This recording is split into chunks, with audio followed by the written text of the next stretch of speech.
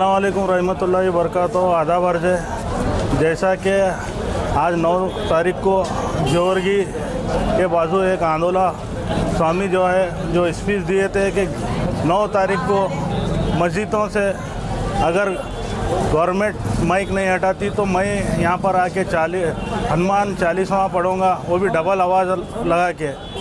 जैसा कि सुबह पाँच बजे से दलित सेना के पूरी टीम यहाँ पर मस्जिद के पास महबस के पास खड़ी है और तमाम ऑर्गेनाइजेशन और तमाम पार्टियों के लीडर्स भी यहाँ पर प्रेजेंट है।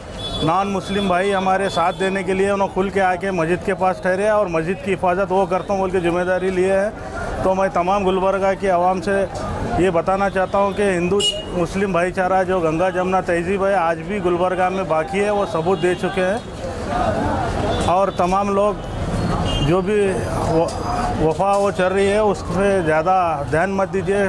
पुलिस काफ़ी तादाद में यहाँ पर मौजूद है, अपने प्रिकॉशन ले रही है। और अगर वो आ ही भी गया है यहाँ पर तो उसको गिरफ्तारी करेंगे बोल के ऐसा आश्वासन दिए कमिश्नर, पुलिस और एसपी मैडम।